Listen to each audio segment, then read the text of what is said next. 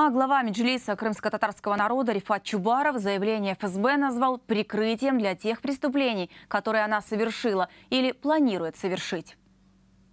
Российские специальные органы практически полностью копируют методы времен НКВД, МГБ, КГБ СССР. Утверждение ФСБ Российской Федерации о том, что, мол, с территории материковой Украины на территорию оккупированного России и Крыма прорвались диверсионные группы Министерства обороны Украины, не что иное, как прикрытие ФСБ России совершенных или планируемых ими на территории Крыма преступлений. Во втором случае, возможно, начатая провокация может послужить для обоснования планирования более масштабных агрессивных действий по отношению к Украине со стороны России.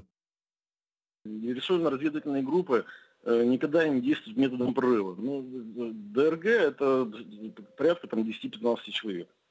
Прорываться на полуостров, где уже э, на самых двух этих перешейках, там, районе Шингара и так далее, э, дислоцируются силы российских вооруженных сил, прорываться таким, такой горской с боем, ну это, по-моему, вообще это просто бред.